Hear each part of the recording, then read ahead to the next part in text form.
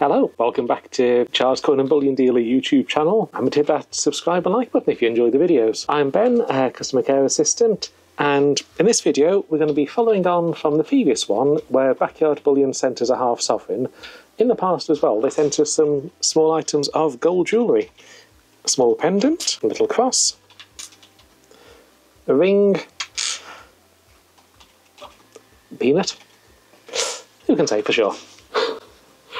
But we're going to give them a test on our Sigma tester, which will work for an initial test, but you need to know the purity of the gold to test them properly. So after this, we're probably going to have to take them over to the Niton tester in the front office and have a proper go. So first item we're going to check is this pendant, which doesn't say, as far as I can tell, any hallmark gold content. So we'll give it a quick weigh on the scales. 7.6 grams. The machine is currently set to 8 grams, so that's close enough accuracy. It's set to gold pure right now. You've got a choice of metals by that button. So I'm going to try pure and see how it comes out. Close to pure gold, not quite there. If I shift it down to 22 carat, too much the other way, so it's more pure than 22 carat, but not quite 24. I'll take it to the night Niton tester to have a proper go, but we've got an idea now at least. This cross on the back of it, hallmark, which I can't read, I will admit, and it says 14k. So for this one, the weight is 2 grams, so I'll reset that now. And 14 carat, the Sigma tester will only go down to 14 carat, conveniently. So if I try it 14 carat with the balance being silver, slightly more pure according to this. If I try it 14 carat with a bit of silver and the balance copper, closer. We'll need to give it a proper test on the Niton tester again, but 14 carat doesn't seem far off it. The ring doesn't appear to have a hallmark as such. It does say 9CT inside the band, but not in a hallmark manner. And since the machine only goes down to 14 carat, no point in trying to test that on the Sigma tester. As for this, I'm not sure, monkey nut, peanut, gourd, something. No hallmark on it, so I wouldn't know quite what to do to test it. The weight of it is only 1.6 grams, so 1.6, let's have a test. But it won't go under that marker, and for the smaller ones they need to fit under, and in here it won't fill the black circle, so it's not going to do a lot of good for us. But the fact it came out as a higher test does mean it's higher than 14 carat. Testing is higher than pure, so that's just the unreliable readings. Testing with a little scanner wand. It's giving an accurate reading.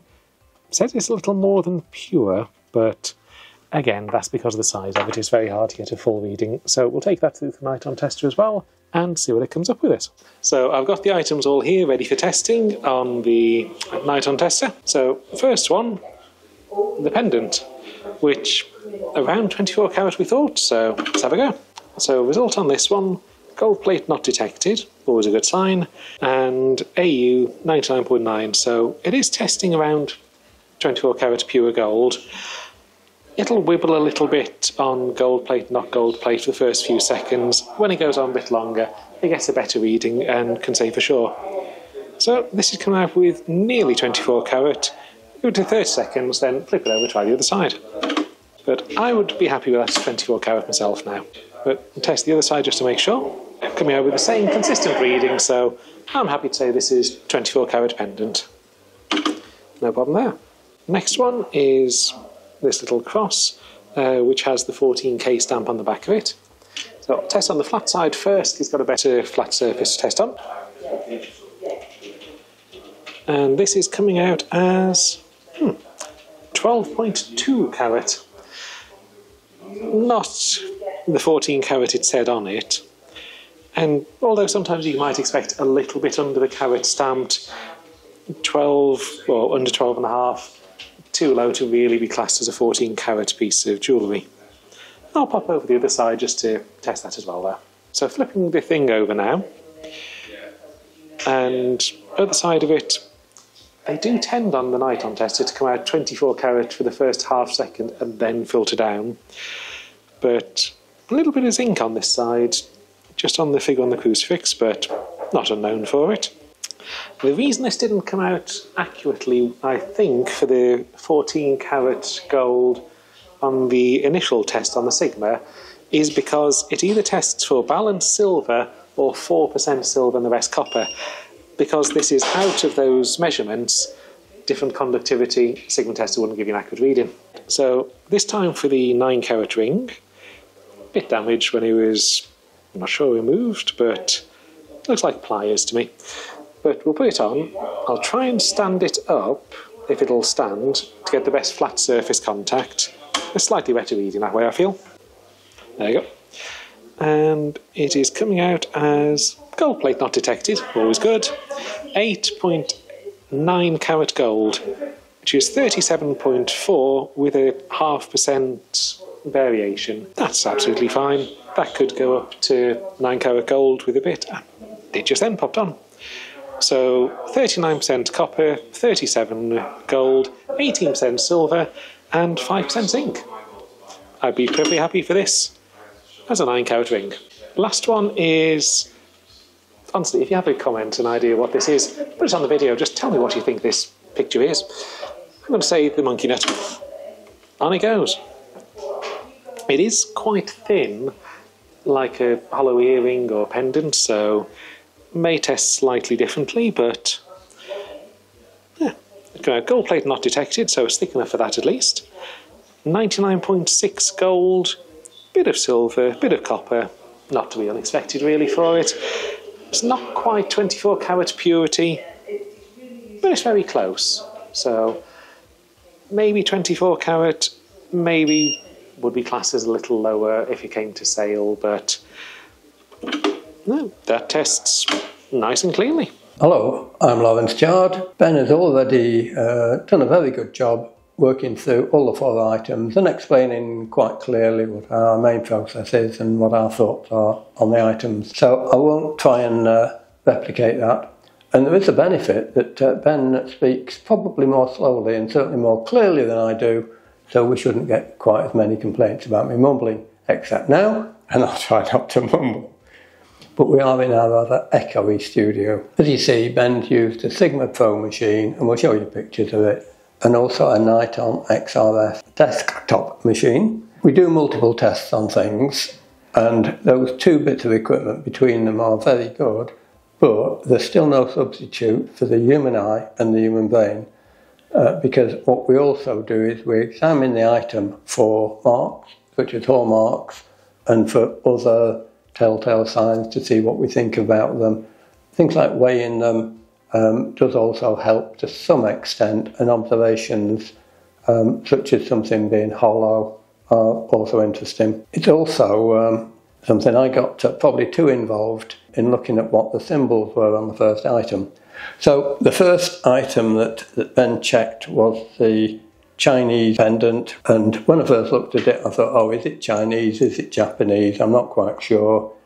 Um, fortunately, we can, um, for those who can't read kanji and don't know other Chinese or Japanese symbols, uh, Google Lens works really well and it tells us that the, um, the symbol on one side means well, various.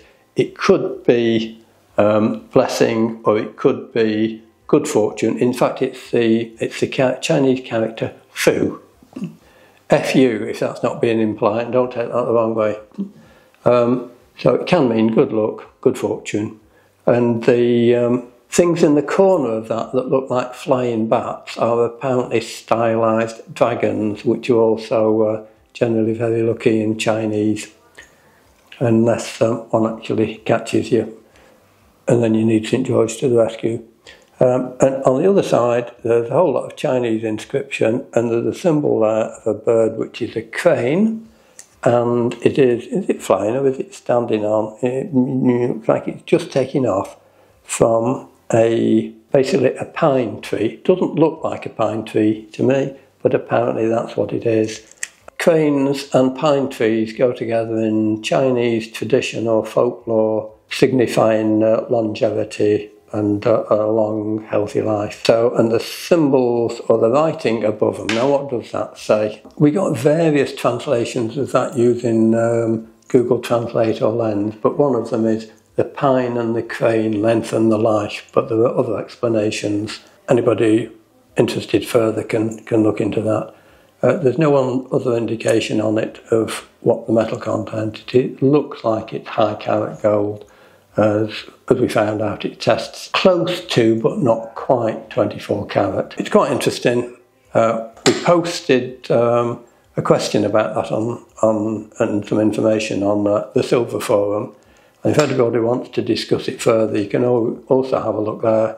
And we will eventually discuss the other items there in some more detail. That highlights the point that we don't just use the equipment we've got and testing equipment. We actually look at things and we actually think about things, and uh, that helps in the uh, in the overall um, checks and tests. Uh, the next thing we've described as a cross somewhere, but it's not. It's a crucifix. So we tried to decipher the um, the Chinese writing on the back of the crucifix, and apart from seeming to say 14k, uh, we couldn't work out the rest. But again, we used Google Translate or Lens. And what did that tell us? Uh, it, it meant Chow Tai Fook, whatever the Fook that means. Oh, apparently it means look, class, and prosperity, or words to that effect. Uh, so now we know.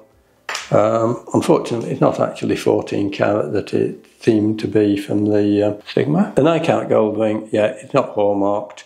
Uh, it looked like it's slightly lower than 9 carat. That really is just pure scrap, not worth doing anything else with.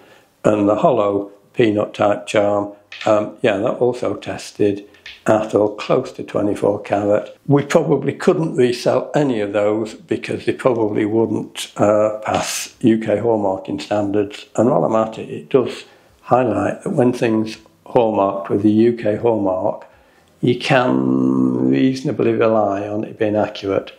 There are fake hallmarks, like there are fake sovereigns and other coins, um, but UK hallmarking is excellent. Hallmarking or quality marking in the rest of the world is a bit iffy, and uh, often you can't rely on it. Um, I think that's um, about all I need to say. Um, I've mentioned Silver Forum, and we'll put a link on there to the page where we talk about that pendant and this video. And now I'll hand back to Ben for him to say goodbye, and it's bye from me. But now we know what these items are, we've tested them all, we've weighed them all, we'll be able to get back in touch with Backyard Bullion and give him all that information across. Don't forget to check out his channel as well. There are some great videos on it. And we'll hope to see you back here for the next video. Thank you.